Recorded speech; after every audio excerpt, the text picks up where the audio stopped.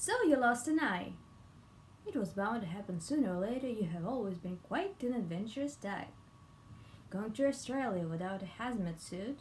Finally fulfilling your sexual fantasy about Edward Scissorhands. Being too successful at catching a drumstick at that Oasis concert.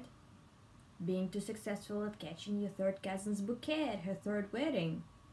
Going to a local grocery store at 2 a.m., buying apples and tequila, and deciding to arrange a little William Tell reenactment with your LARPing friends. Getting official nails for the first time, and being too successful catching a tiny fly. Deciding to finish your scarf while listening to relaxing sun yoga meditation melodies and not hearing a stewardess say, Please fasten your seatbelts, we're entering a turbulent zone. Life is full of opportunities. Now, when your painful agony is over and you have changed your driver's license, what are your options? First one, a patch. First of all, how dope does this look? Everyone who sees you knows you're either a pretentious cosplayer or someone who will not hesitate to slap a bitch. This can become a starting point of developing at last at least some sense of personal style since you got a quarter of a James Bond villain aura on your face already. You wake up one morning, put on your usual chill morning bits to wake up to. You brush your teeth with your special Ultra Mega Max Cleanse toothbrush your dentist has sold you for royalties. You look up in the mirror and you see a toothpaste stained eye patch. And suddenly it strikes you. You know what would be a fantastic way to get my own Wikipedia page? World domination. You know nothing of history, economics, logistics, geography.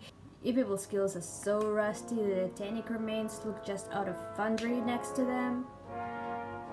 But you have already shifted an average number of eyes in the human population, and that was just the first step on your path to glory.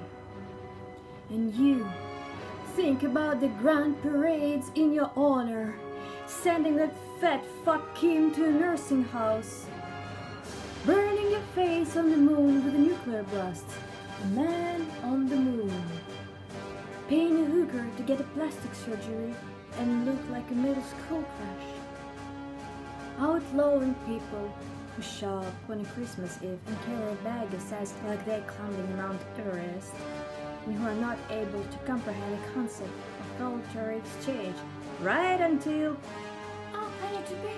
Right. just one second. Let me get my wallet.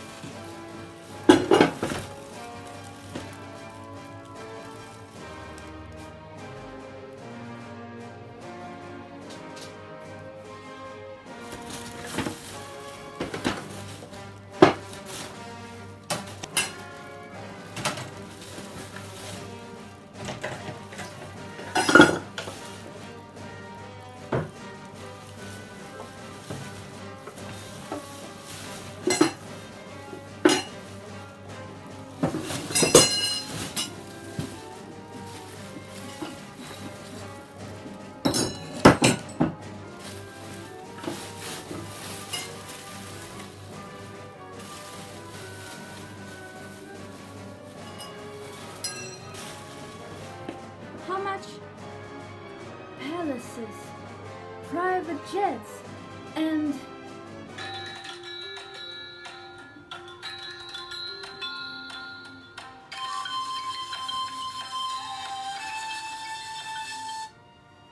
Mr. Zork? Yes, Mr. Zork. I understand, Mr. Zork. Oh, I, I'm so I, I'm so sorry, Mr. Zork. Yes, yes, Mr. Zork. Okay, okay, Mr. Zork, I understand. Alright. Okay. You know what, Mr. Zork? You'll be the first one to get the bullet. However, we all know how these stories end.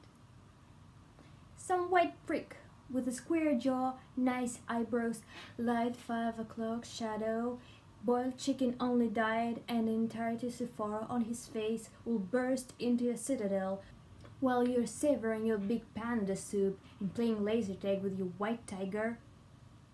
The Hollywood star will be crashed, the portrait of your face looking dreamily at a 32 degree angle as if you spotted the last box of paprika Pringles in the supermarket will be burned. The Nobel Peace Prize will be bought by some old trillionaire collector who's so fed up with frivolities. Buying a second-hand golden beer coaster from a mass murderer is his last escape from banality. But there's always another way. Maybe not now as of 2018, but in the nearest future, I'm sure. Another beautiful, marvelous, fantastic child of robotics and air biology. An artificial cyber implant. Beautiful, beautiful, shiny thing whose barely audible whiz so endearing in cyberpunk movies would drive you crazy in two hours after installing it.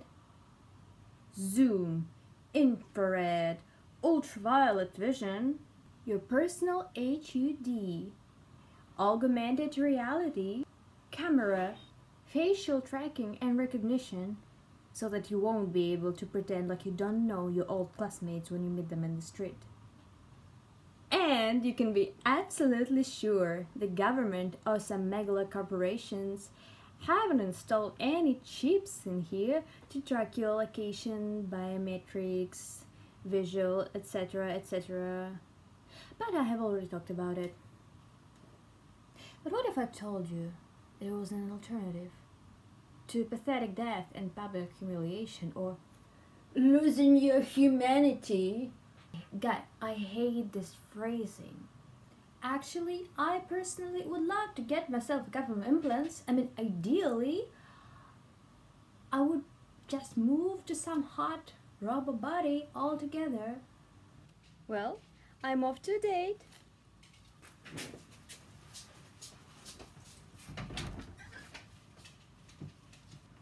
Ah. Um. Where were we? Right. What if I told you you don't have to submit and fall prey to this millennia old bad cliches? Leave the thing bare. Just an empty socket. What that son of a bitch Scar would have looked like if Disney didn't try to make everything PG 13. Become the one eyed, one horned, flying purple people eater you were destined to be. This especially works if you lost an eye in a near death experience, you know, when you lost not only an eye but like half of your face with it and maybe some parts of your body and like maybe someone else was injured. Ooh, sewing mill, how fascinating. Oh, fuck! Someone is talking shit about you. You give them one look because that's the exact number of looks you can give right now anyway. And it'll shut them up so good. They won't dare to send you a therapist bill for their PTSD treatment. You would have an ability to walk through the toughest districts of Caracas untouched. The hole in thy head is thy shield. People will look at you and think, that is Da Vinci of self-esteem. Clint Eastwood of accidental deformities. Akira Kurosawa of absent depth perception. Instant charisma boost. Instant. So if anyone falls in love with you, it will be for your fake personality, not for your fake eye.